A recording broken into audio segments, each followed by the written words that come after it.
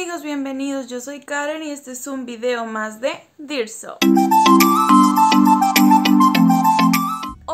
Acompaña nuestro amigo Mr. Diso para hablar sobre qué hacer si nuestro hámster tiene estrés. La mayoría de los animales pueden llegar a sufrir estrés en algún momento de su vida y los hámsters pues no son la excepción, ya que existen muchos factores que a ellos les pueden causar estrés y llevarlos a vivir pues una vida descontrolada y muy abrumada. Debido a esto, hoy te hablaremos de cómo detectar que tu hámster tiene estrés y te daremos algunos consejos pues para evitar que se estrese. Primero comenzaré diciéndote cuáles son los síntomas de este padecimiento en los hámsters. Primero de ellos es la agresividad y esta la puedes detectar pues a través de las mordeduras que tal vez pues tu hámster comience a morder de repente, o sea, muchas cosas, tus juguetes, cosas que normalmente no hacía o incluso a ti que intente morderte de la nada. El segundo síntoma es el comportamiento variante y esto se refiere más que nada a los cambios de humor repentinos, o sea que de la nada está bien y de la nada comienza a ponerse agresivo, a eso se refiere este punto. Y el tercero es la caída del pelaje, que es también un síntoma muy básico del estrés. Ahora bien, ahora hablaremos de qué factores les pueden causar el estrés, les pueden causar este padecimiento. Como ya lo mencioné en el inicio, existen muchos factores que se los pueden causar. Dentro de los principales están el miedo o la inseguridad. Esta lo pueden sentir por distintas cosas. Lo importante es detectar que les está causando este miedo o esta inseguridad. Otra posible causa serían los sonidos extraños como los ladridos o los gritos de un niño o simplemente gritos o sonidos de otros animales que estén a su alrededor.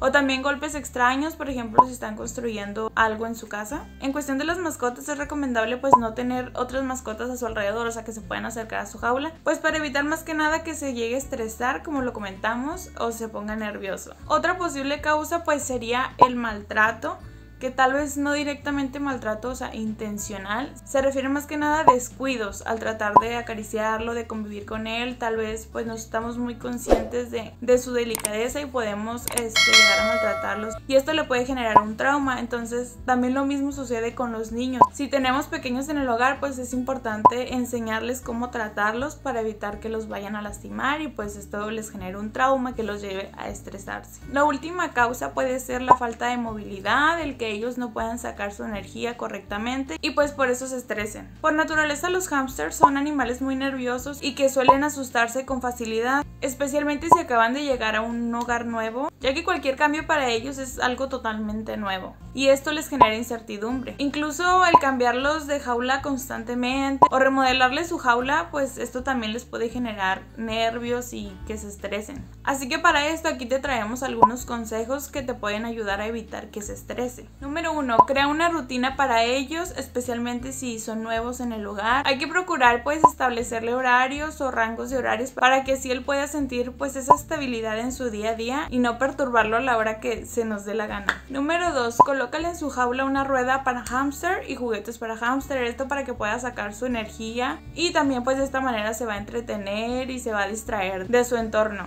Y número 3, sácalo de su jaula un ratito. Es importante que lo saques pues en un lugar que tenga las puertas y las ventanas cerradas para que no se vaya a salir al exterior y también que no tenga pues ningún mueble donde él pueda adentrarse y pues se quede atorado o que tú no puedas sacarlo ahí después. Si crees que tu hámster pues ya está estresado, puedes intentar realizar estos consejos poco a poco y si al final notas que no le están ayudando, pues lo ideal es que acudas con un veterinario para que pueda evaluar su caso y así te recete pues algún tratamiento o te dé algunas indicaciones para que puedas realizar y lo ayuden. Así que ya sabes, cuidemos de los que nos aman incondicionalmente. Les recordamos que tenemos tazas y camisetas en la Pet Shop y en la compra de cualquiera de estos productos ayudan a un albergue de animalitos, así que si quieren ayudar, entren al link de la Pet Shop que les dejaremos aquí en la descripción. Ahora sí me despido, no olviden darle like, compartir y suscribirse. Nos vemos en el siguiente video. Hasta la próxima.